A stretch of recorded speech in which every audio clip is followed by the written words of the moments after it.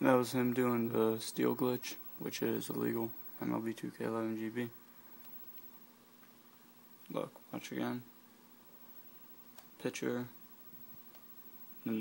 Not even throwing the ball yet. He steals. Pitcher glitches the ball behind him.